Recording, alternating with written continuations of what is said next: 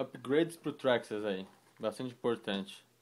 Os pinos para roda de alumínio, recomendo, porque os com a 3S o de plástico derrete. Então assim comprei alguns de plástico para ter aqui de reposição. Rear bumpers, para-choques traseiros do, do Slash 4x4 da RPM. Os meus originais já estão bastante judiados. Ele aqui acompanha é, instruções de uso, alguns adesivos é, de montagem, bastante simples.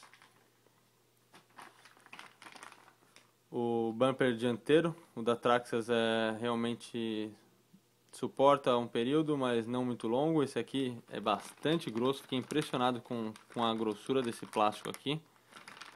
Tem a impressão de que é muito resistente mesmo, para o Slash 4, 4x4 também. Esse upgrade, é, eu diria que, dependendo de qual é o gearing que você está utilizando, ele é dispensável, mas eu acho que não custa nada você ter. Eu alimento ele normalmente com uma bateria 2S que eu tenho de helicóptero. É um, são dois, dois fãs é, para o motor Velinium é, brushless do Slash 4x4 Ultimate. Acho interessante é, colocar esse item também no carro.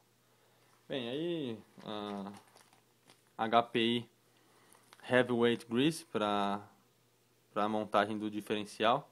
Tive um problema com o meu diferencial, comprei também aqui um, uma caixinha de, de, de selante do diferencial traseiro. Dois conectores é, macho e fêmea aqui, Traxxas. Isso aqui é muito importante. É, esses é, washers aqui de Teflon, quando você vai fazer qualquer troca do enrolamento, normalmente você acaba perdendo alguma coisinha dessa.